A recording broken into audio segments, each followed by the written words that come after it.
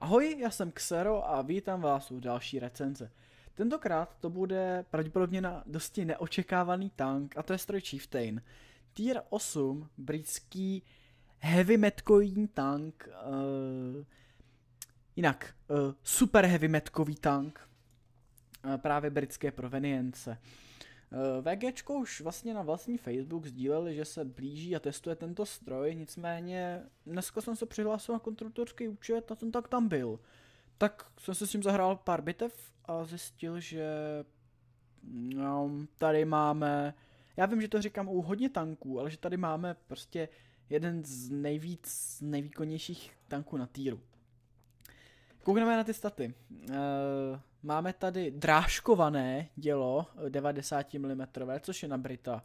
Docela atypický, je to nejspíš nějaký americký dělo, drážkovaný, pozor, to je důležitý, který střílí 10,33 uh, ran za minutu, to znamená, že máte do 5,9 z Alfu 225, což uh, prostě to DPM je tady kolem 2300, třeba 2300, 2400. Je to, je to, je to velmi, velmi na hevinu, velmi, velmi hodně v pohodě statistika.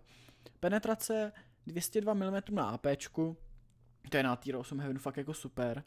Uh, no, Heavinu, Heavy Metko. A podkaliberní APCR pak mají 238, který já moc nestřílím, protože jsou drahý a mají menší alfu, ale ty mají 240, což není takový zas až takový posun nahoru, když má třeba Kenix 280 na goldu. Ale ta penetrace je velmi dobrá. A pak 45 mm na héčku, takže probíje takový špici ručka, takhle není problém. Uh, Alfa teda 225 na AP, 190 na APC, 270 na Hčku. Ty Hčka nejsou moc efektivní, protože i když probijete, tak dáte malý damage. Přesnost je 0,326, to znamená, že uh, vy máte opravdu po doměření, který by trvá jen 28 sekundy, což je naprosto nesmysl. Máte laserově přesný dělo, který je konstantně uh, konstantně doměřený, prostě dělo na britský hevině, který má slušný DPM a slušnou penetraci. OK. Stroj má 1500, uh, 1500 HPček. 1500 HPček má. Tak. Má 1500 HPček a má pancíř nějaký, jo. Má 85 mm na korbě, tady nahoře, ale je, je, tady je takovejhle úhel, takže ta korba je nepenetrovatelná takhle ze předu. To si budem, nebudem si tady nic nalhávat. Uh, ta vana jde probít, ale pokud si najdete ten malinký down, tak uh, to prostě ten vršek ocinkáte úplně všechno. Boky, balanční faktor VGčka, boky mají 50 mm, to znamená, že to je málo a takový ty větší děla 152 mm a tak vás tam overmatchnou, to, takže na, na to pozor, nesajít scrapit proti velkým dělům. No a zadek je papír 25 mm, tam jdou probíjet hečka, tak je dost velký. To je prostě jako u všech Britů, když se kouknem, třeba Centiák, tento má, ten má taky plošku, Kern má taky plošku, nevím, hvězda, a tak to je podvoze Kairna, má taky plošku. Takže ten zadek je fakt papírový. Ale pak se tady dostává jako mnohem zajímavější části toho stroje a to je věž. 250 s vylepšeným pancířem o nějaký 4%, že je něco kolem 260 mm na věži. Což i kdyby to byl rovný plát, rovný plát, jako třeba ten zadek, tak je to hodně, hodně, hodně, hodně. Jenomže, když se na to podíváte, tak tady je autobounce, tady je autobounce, tady je autobounce a vlastně ta věž je uh, tvarovaná tak, že do té věže vás taky nic neprobije, minimálně ne do této části.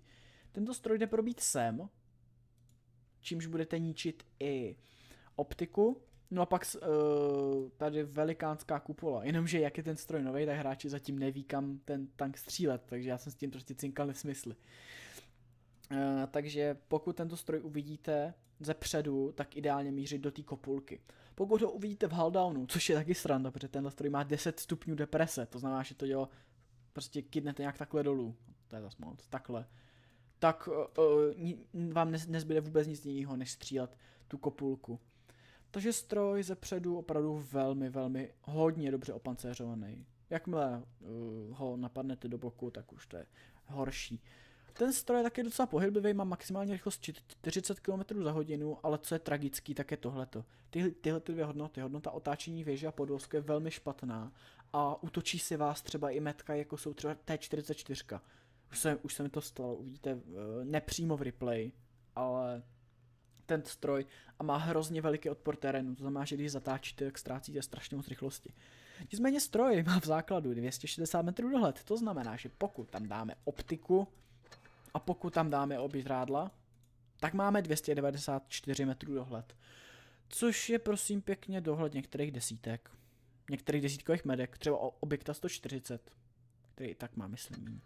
Takže ten tank je prostě skvělý i na spocení. Je to prostě takový ten hybrid, něco mezi heavinou, metkem a pokud jste na topu v haldown pozici, tak je super heavinou, protože vás prostě nic, nic neprobije a vy to budete rozdávat. I když jste třeba proti devítkám, tak vy uh, hodně věcí probijete tím, že můžete mířit na weak spoty a když ne, tak ty gold, třeba S75 ze předu budete mít fakt problém probíjet. Ale to jsem se třeba ještě nepotkal. No, to by asi bylo všechno z těch statistik. A ještě koukneme na vybavení, pak eh, vám kážu i jeden nebo dva replaye, nebo je vystřihnu. A nebo pak dáme rovnou live bitvy, protože ať je to video co nejkratší, protože uh, jsem ještě objevil v kontributorské garáži jeden tank, na který vám taky ještě dneska vydám recenzi. Bude to přímo po tomto videu, tak můj kanál ještě nezapomeňte dneska sledovat. Tak vybavení. Samozřejmě nabiják, abych zlepšil uh, rychlost nabíjení děla. Pak tyhle ty dvě věci na zlepšení gun handlingu, aby to dělo bylo prostě jako ukazovátko. Vylepšené moduly, tady, uh, možná si tam dám spíš ten obraný systém, protože tady v této kopuli sedí velitel a ten dostává hodně, hodně velkou bídu. Uh, posílený pancíř, uh, abych zlepšil prostě celkově ten armor. Dají se tam dá HP, zlepší to o 90% HP, což není špatný. A zámě ten pancíř. A pak ty nástroje, což o 30% zrychlí opravy modulu. Pak samozřejmě optika, tahle věc na zlepšení motoru, i když na toho Chieftaina si dám pravděpodobně vylepšený řízení, který který zlepší otáčení kolem své osy, takže to bude asi efektivnější, takže tady zlepšené řízení a prvotřídní doplňky to prodlouží trvání všech bonusů, jako je adrenalin a opičí kapky. Vybavení, klasický uh, dvojkombinace, klasická dvojkombinace oprav a nabijáku a zásoby. Já jsem si tam dal ob, uh, obě řádla právě kvůli tomu dohledu a pak velký benzín, abych zlepšil obratnost. No a munice, stroj může mít 80 kousků munice, já jelikož se, sna- se snažím odnaučit uh, střílet goldy, protože momentálně nemám prémko a ani ty prémiáky mi nevydělávají, tak to mám jenom 7 goldů, 3 Hčka, to je jenom tak pro efekt a pak zbytek APček, tady nějak není moc potřeba co řešit. Tak jo, tak koukneme na ten replay, nebo dva, nebo možná budou prostřihaný a potom se podíváme na ten, na ten live komentovaný. Tak nakonec jsem se rozhodl, že použiju části dvou replayů, který nějakým způsobem se střihám. Eh, první z nich, první těch dvou replayů teda je čistý na mapě Canyon, a to na té OP midové pozici, kde právě se dá úplně úžasně operovat přes ten dohled, down a depresi. Eh, čili mě hnedka probilo do kopulky, ale vidíte, že, že, že tam ty tanky držím a koukejte, jak jsou prostě na mě seběhlí, jako jako slepice na flus. Tady jsem měl problém teda vytočit, ten, ten sjezd dolů, tady je to, tady jsem si něco nastavoval, protože jsem měl strach, že mám špatně citlivost, ale to nebylo citlivosti, bylo, že ten tank je prostě plečka, co se týče otáčení. No už mě tady rašujou. 44, pak jsem jí dal ránu, samozřejmě nabíjím okamžitě adrenalin, nicméně cinká mě. Cinká mě ISko, není problém. No, teďka mě ta 44 probila do boku, no já se tady budu párat to ISko. Já teďka nabím dostatečně rychle, já se netrápím. Dám tady další ránu ISku, ano a teďka tady už dolů sil i ručko, který mě cinká. ISko, to, to ISko se už, se už na mě pro jistotu vykašlalo. T44 mě cinkla do boku. No, já jsem tady si čekal na tu ránu. Nakonec jsem mohl do toho ručka, s tím, že tady jsem si bohužel vyl moc. A e, to ručko mě probít nemohlo. E, ta 44, teď já, teďka taky ne, ale tam mě už probilo že dvakrát nebo třikrát. A teď jsem se ještě najel moc, že jsem měl na zádech tu 32. A nicméně jsem musel jít tady po kilu, e, potom eručku, no a tady to už jenom bylo, kdo mě zabije dřív. Nakonec to dopadlo, takže jsem si sjel moc dozadu a zabila mě 25 dvojka ze zad. ale to byla jenom ukázka, měl jsem, měl jsem 18 damage a 2,5 tisíce na spoceno. No a tady bude eh, další ukázka právě využití té deprese, huldownu, DPM a celkové spolehlivosti pancíře toho, co tady zepředu, proti tankům stejného a nižšího týru. Mapa přístav lodi Yamato, eh, klasická metkařská pozice. Vidíte, že tady úplně sám držím Centiáka a Pantera 2, který mě zatím nebyl schopný probít, teda až doteď ten Panter jak Centurion se svým dělem, když má nějakých přes 200 mm penetrace, mě tady prostě není to probít. Um, nějak mi není ochotný střílet na tu kopulku, nebo teďka už zase už zaměřil svou pozornost na nějaký jiný tank. Ta 49 tady nějak šašil, byl jsem si na toho, na toho Centa 49 dal Panterovi track a bohužel eh, Blaze nám sežral eh, toho Pantera. A pak tady jenom eh, ještě ukázka penetrace, že i do remodelované IS-3, kdyby měl být ten první plat efektivně silnější než předtím, tak to prostě prochází i s APčkama, protože jak jsem avizoval eh, v povídání garáži, tento stroj má i dostatečnou penetraci, což je vážně úplně brutální. Já ten tank do své garáže prostě chci. Prostě ho chci a udělám hodně pro to, abych ho dostal. Eh, pokud bude koupitelný, koupím si ho, pokud bude vyjezditelný, vyjezdím si ho protože tenhle tank, já si myslím, že když se s ním naučím, budu na něm mít tak 2300 damage. Každopádně jdeme na ty live playe. Tak se pustíme rovnou do bitvy. Jak jste asi viděli v replayích, tak jelikož je ten stroj nový, tak dostává úplně neskutečný fokus, ale dostali jsme výbornou mapu, mapu, kde můžeme využít jak výbornou depresi, tak výborný dohled a turret armor. Tady už máme krásnou remodelovanou IS-3, která je fakt krásná, nicméně to dělo není takový pokčem, dělo z ISK, no. 175 pene, no, dvojí DPM, gun handling, nevadí. Každopádně, a vidíte, jak jsem tak strašně pomalu otáčí, to je hrozný, ta víš taky je strašně pomalá. Ne, nezatáčí to za jízdy, nicméně dokonce 5,8 reload, pardon. Jsem se spel, vám jsem řekl 5,9 v garáži, no a 10 stupňů deprese, jen tak pro zajímavost. No a na tu 40 není jako nějak v zásadě problém dosáhnout. Takže jestli jsem stopnu na mid, jakož mám velikánský dohled, tak to je spotnu tanky. No a budu si farmit. Tiger komet mě to cinká do boku.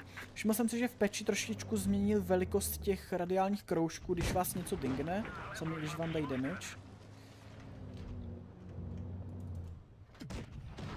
No. Tohle to je asi takzvaně Chieftain in a nutshell. Já jsem teď cinkl tygra do boku, to asi úplně nechci. No, Panther do boku si ho penetrací mi probije, ale ten tygr tě cinká prostě. To je... je to fajn, je to fajn tank. Chci ho do, chci ho do své garáže. Opravdu ho moc chci do své garáže, protože v tomto stavu, v jakým je, a s tím, jak hráči ještě neví kam ho střílet, tak je OP. Je, je prostě overpowered je nevybalancovaný, si myslím já. Teď jste to viděli, prostě mě komet cinkal do boku věže, já tady, já jsem si hnedka na začátku bitvy spot úplně celý tým. Mám 10 stupňů deprese, takže to tu rozebírám neskutečným způsobem. No tamhle je Panther 2, tak eh, já si můžu rašnout, že jo. To co on mi udělá, on prostě jako třeba neprobije úplně zepředu. Takže tak. No protože máte prostě lighter přesně dělat, tak trefíte tady takovýhle škvírku. Neprobil mě. No, ale toto není všechno. Já jdu, já si jdu, já si jdu střílet dál, jako. Nevím, um, jelikož víte, že jsem pravděpodobně dost velký, nebo jelikož pravděpodobně víte, že jsem veliký sběratel prémiových tanků, dnešní nich jich mám v garáži 66 a určitě neplánuju tuto mou sbírku zakončit, minimálně teďka v Blitzféru. Bude spoustu tanků, který nemám, například jeden nejmenovaný tank, na který bude ještě recenze eh, dneska večer, dneska v noci, eh, jak jsem už říkal v garáži, určitě se na to těšte. Tak ten, tak já si jdu v tom Blitzféru ještě pro hodně tanků. No a teďka mě farmí Buffley Tiger, který má teďka OP DPM nabíjí kolem 5,5 sekundy. No a já se ho spotnu za chvilinku. On teďka někde sedí v křoví, nebo hej. Kde je? Tady. Za jízdy, vidíte, že ten kruh je prostě úplně prťavej. Z adrenalin nabíjíme 48. Co smíšný, jako. Ten tank je fakt... Ten tiger mě probil třeba tak třikrát deseti ran, který prostě mě vystřelil. A teď mě ho vyžere ten panter samozřejmě. Já se nestěžuju. Co příjemná bitvička. 3300 damage. To je proto, že, že kontributoři ten tam už hrajou, takže to není tak easy. 3,5 combined, eh, máme tam 114 tisíc, 77 tisíc. Jo, jo, jo, jo, jo. V pohodě, nevadí. Tak, ten tank je naprosto, naprosto balancovaný. Tak, jedem dál. Pouštní písky, já můžu jet na poušť a hrát to přes to, přes depresi, to je ten tank se dokáže uplatnit všude, jak ve městě, díky tomu pancíři podvozku. Tak v poušti nebo v různých kopečkách, díky tomu, že mám prostě 10 stupňů deprese a obrovitánskou, uh, obrovitánský pancíř na věži. Sice ta kupola je fakt weak spot, vidíte, že je fakt velká. A dokud hráči neví kam to střílet, tak ten tank je hrozně zábavný a hrozně dobrý. A tohle je jen z takových těch tanků, kdy si říkáte, jo VGčko, tak kolik peněz si mám dát stranu. No, takže asi tak. No. no vidíme, kolik tady bude tanků. Mají tři TDčka, mají dvě metka, no. E, ten tank je hodně, hodně podobný Caernarvonovi, s tím, že oba mají jiný dělo, ale hrajou se podobně. Oba mají slušnou pohyblivost, velmi dobrý dělo, dobrou depresi, oba mají 10 stupňů. Uh, Kar má teda menší alfu, ale zase o to větší DPM. -ko. Já pojedu, já tady budu na agresivní ten. Kar má teda o 100 víc HPček a má trošku jinak designovanou věž, eh, která taky hodně cinká, ale je méně, je méně spolehlivá než ta Chieftainová. 10 stupňů deprese. OK, dobře. Dobře. Ach jo. No, tak. Takhle, dokud, dokud tyhle ty OP tanky, který VGčko vydává, budu mít já, nebudu si stěžovat. Nicméně pokud tento stroj bude k dostání ke koupi, tak už to začíná smrdět pay to win, to znamená zaplať si, aby si prostě si zahrál, protože dokážu si složit, že by se osmičkový brawl složil jenom z těch, jenom, jenom z těch, těch chieftainů. Protože na to má potenciál, protože ten tank má všechno. Ten tank jako nemá, vy, nemá vysloveně nic, nic jako špatného. Ta i navíc ani neumí jako střílet do mě. Už to bude asi prohra, pokud nějak brutálně nepotahám. Protože ten, ten tým jako nějak přestal existovat. Je strojka prostě zepřel bez goldu, naprosto bez problémů. Sučko tamhle to. Ten proťák by mě mohl probít, ale oni do mě střílí. I Sunga. Hm. Tam mě asi prorve dopředu. No tak, jo, tak tam mě zepředu netrefí, dobře. T20 mě cinká do boku.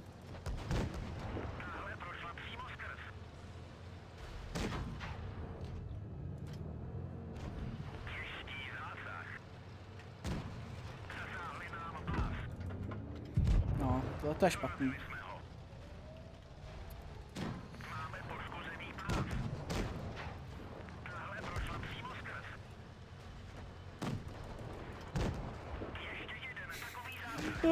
to je sranda tohleto. Okay. A facehack? A teď uvidíme, co tento stroj schopný dělat ve facehacku.